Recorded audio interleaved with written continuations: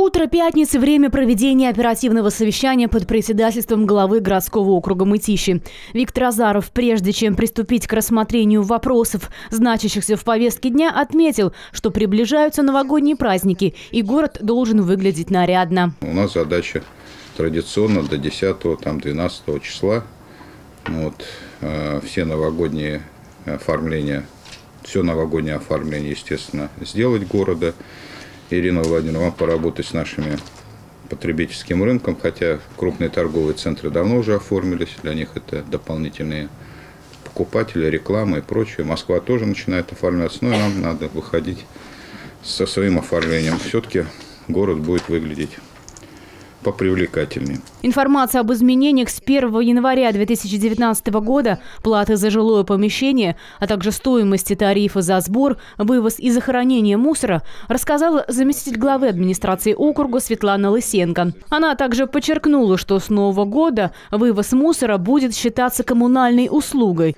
и Мытищи будет обслуживать филиал управляющей компании «Региональный оператор», расположенный в Сергиевом Посаде. Тарифы уже утвердили.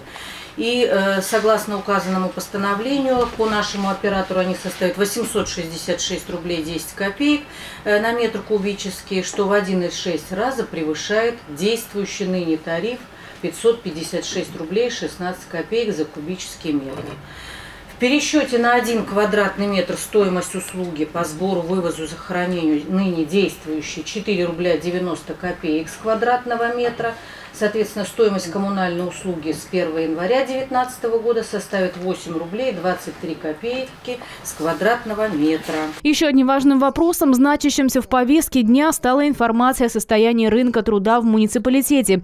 Так, за 2018 год Центром занятости населения оказано более 6 тысяч государственных услуг. Проведены ярмарки вакансий, которые посетили 2855 человек. Министерством социального развития подведены итоги итоги конкурса на лучшую организацию Московской области, предоставляющую рабочие места для подростков.